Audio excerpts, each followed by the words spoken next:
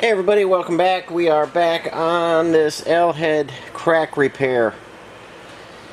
We're getting ready to pressure test this morning and I have my block off plate on the uh, on the block here and that's just that's just a piece of half inch steel this one here is for an F head and basically it's got all the holes in it to bolt down but uh, all the coolant passages are, are blocked off. So uh, I just had these laser cut uh, an L and an F head because I do a lot of those. So um, you know they're they're they're fairly flat. They're they're not perfect, and I didn't mill them perfect. They're only a half inch, and uh, we just want to block off those coolant passages. Uh, it's not super super critical. Uh, we do have a gasket in there and we have a plate right here that I cut out. It blocks off the water pump. And obviously you got to have your core plugs in. These have never been out. I've got a fitting down here. It's just an air fitting. And you need some type of regulator. So uh, you could do this with water. You could fill the block with water and put air to it. Uh, it's kind of messy. Uh, these bolts on on this the plate here, they're uh, they're torqued to 65 foot-pounds. Uh, we want to introduce the same stress on the block that'll be there when the head gets bolted down. Now I didn't put sealer on these. if you if you don't put sealer, you're going to get a little bit of air, you know, coming up through the threads. It's not that critical. We just want to have some air in here because we want to test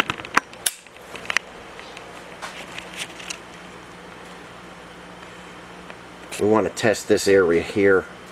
Uh, that's our that's our most critical area.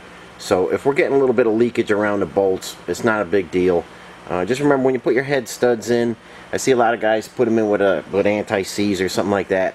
Don't do that. You need sealer on every one of these bolts or you're going to get uh, coolant leaks up through. Um, so make sure you put sealer on there. I, I didn't do that uh, for this, but um, again, we just want to have a flow of air through there. We're going to put some uh, uh, soapy solution on there and, uh, and, see if we have any air leaking through. Um, so let me get the uh, the air line hooked up, and and we'll go after that area and, and see if those pins fixed up the crack. Hang in there, I'll be right back with you. Okay, we are going to dial up some pressure here. Now you're going to hear some air leaking out of various places. Um, the uh, intake and exhaust manifold studs are leaking. Uh, I'm going to take that to 20 pounds of pressure. Uh, normally you're going to run a 7 pound cap on these engines, so we're more than double the pressure. We're going to go over here, try and get this zoomed in on that crack area.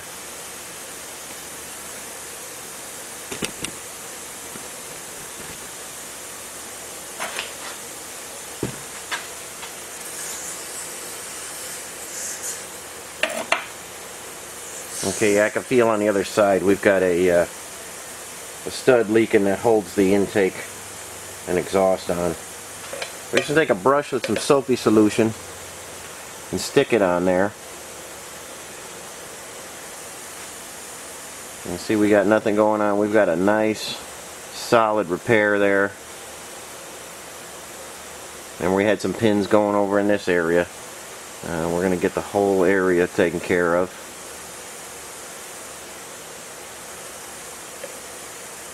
And uh, that's all it really takes. You just got to make sure you've got no bubbles. Now if you look over here, we do have a couple bubbles. That's just because the plate on the gasket. That's not uh, that's not a leak. We're, we're, we're interested in this crack right in here and this crack over here. And we've got nothing going on there.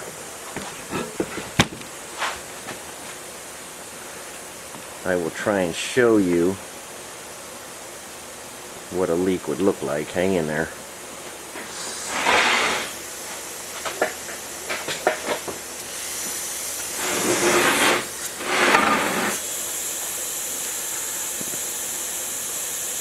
Put a bolt in there because we were leaking air so bad, but obviously you can see that really making bubbles and, and blowing out. So when you put these studs in, if you start new, when you put these studs in, make sure you get sealer on all these because they go right into the cooling system. So if you had a leak, I mean, like I say, that one's excessive, but it'll be making bubbles and stuff like that. Uh, we have, like I say, 20 pounds in this. Don't go crazy and put 50 pounds in there or something. You don't want to damage the block. But, um, you could feel even some of these are leaking a little bit.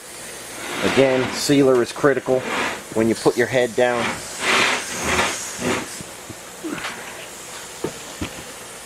And get you back in here again.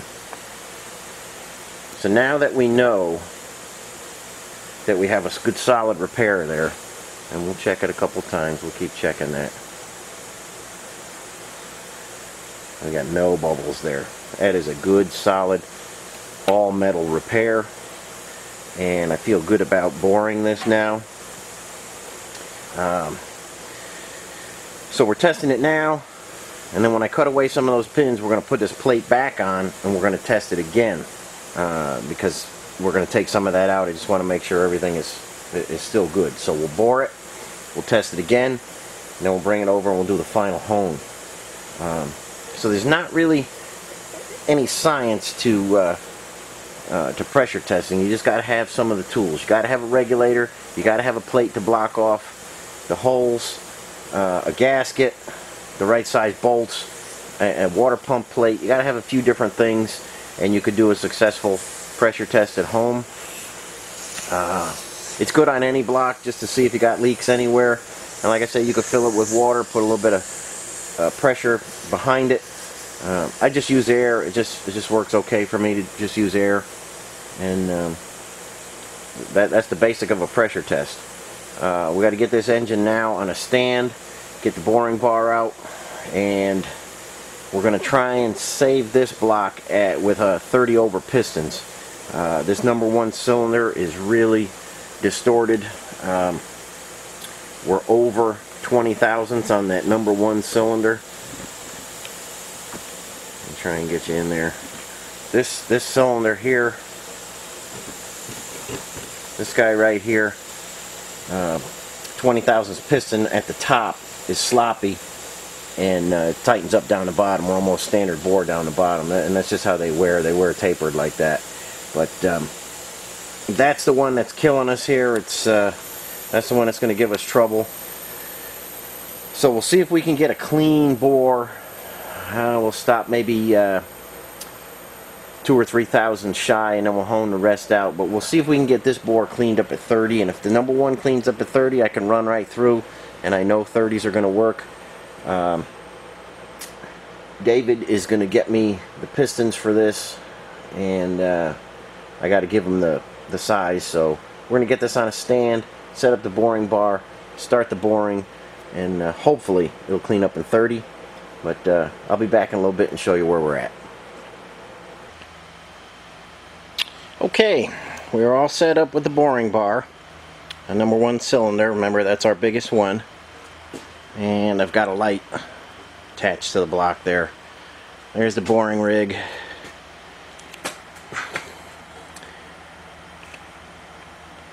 There's our cutter. I am going to we know we can't fit 20s in there. I'm going to try and bore this first one for 30 so a 30 over piston would be 3 inch 155 I'm going 3 inch 152 right now with this first cut and we'll see if it cleans up the bore uh, that'll leave us approximately three maybe three and a half thousandths depends on the pistons when I measure them and uh, as you've seen me do before I hand fit each piston because um, even though they measure the same they don't they're not always exact so uh, I'm going to get close and that way we can order the correct pistons.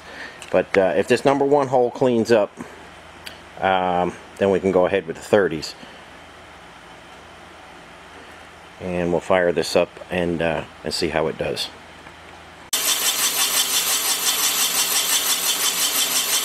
Okay guys, uh, there goes the first cut. It appears to be cutting all around. We'll make sure it cuts all the way down. Uh, the cylinder gets better as it gets toward the bottom, as usually the case. Uh, we'll expand these cat's paws out when they get flush with the top here.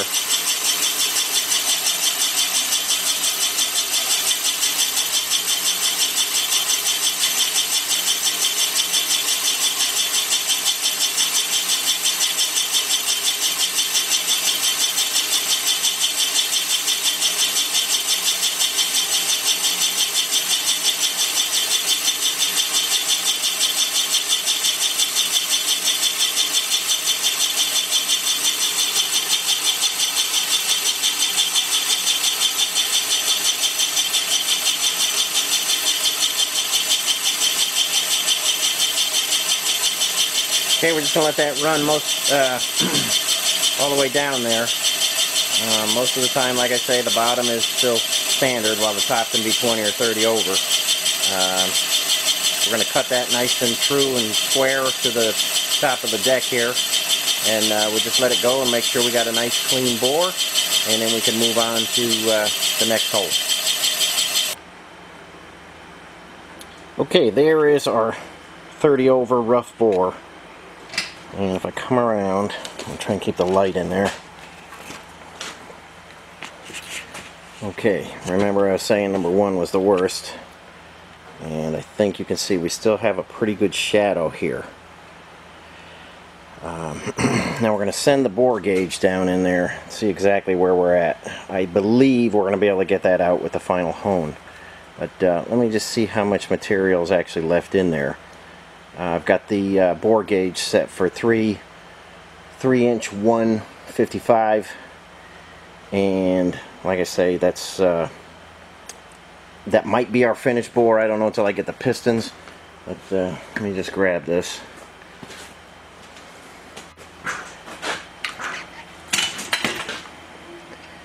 Try and do this one-handed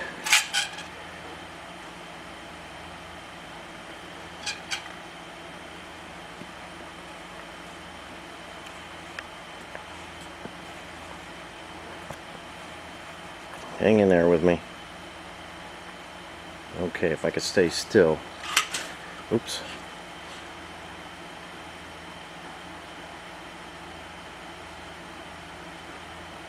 Okay, we've got just about three and a half thousandths left to take out with the hone. Yeah, right around three and a half thousandths. So, when I put it up here in our shadow area,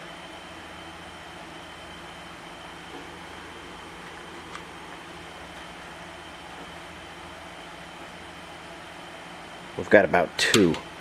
So I believe that will clean up with the hone.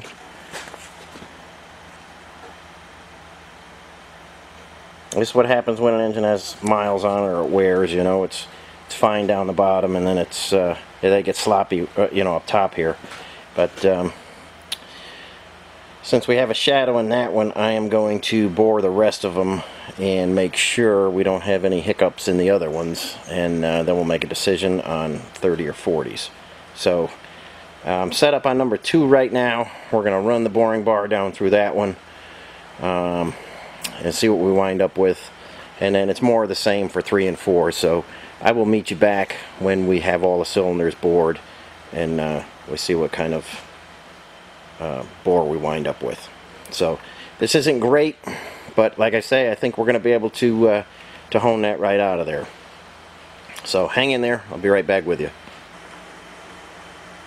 Okay, everybody, there's number four cylinder. And you could see all the pins are machined nicely. And that cylinder came out real good. But uh, let me walk around the other side here.